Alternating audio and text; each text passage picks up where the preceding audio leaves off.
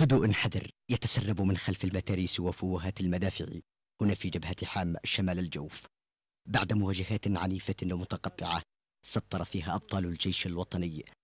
أنسع صور البسالة والتضحية. في جبهة هي الأكثر شراسة بمعاركها وتضاريسها الوعرة. جبهة حام آه، تعتبر من الجبهات التي تستنزف الميليشيا بالقادة والأفراد وقد آه، أخذت من الميليشيات الانقلابية أفضل ما لديه من القيادات يعني.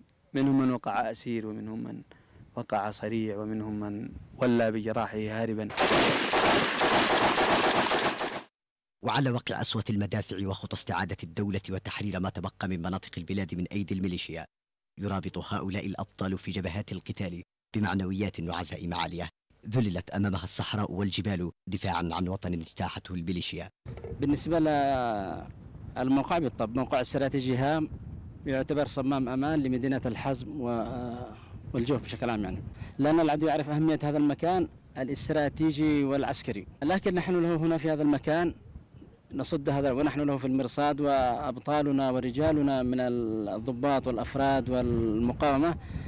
يعني مرابطين مستبسلين لا يمكن أن ينفكوا عن هذا المكان لا ينزل أي فرد من هذا المكان إلا شهيدا أو جريح سلسلة من المواقع والتباب تسيطر عليها قوات الجيش الوطني على امتداد جبهة حامل الاستراتيجية والمهمة في خارطة معركة الدولة. الأمر الذي تستبيت الميليشيا من أجله يوما بعد آخر محاولة التسلل لاستعادته.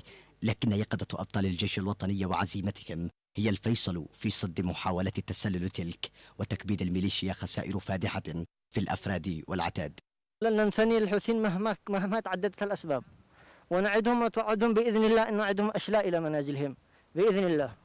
المسافة الفاصلة بين جبال حام شمال الجوف وحرف سفيان في محافظة عمران هي الأقرب من هنا. ما يجعل خير وصول قوات الشرعية إلى محافظة عمران وصعبة أمرا ممكنا في الأيام القادمة. علي الجرادي قناة بلقيس الجوف.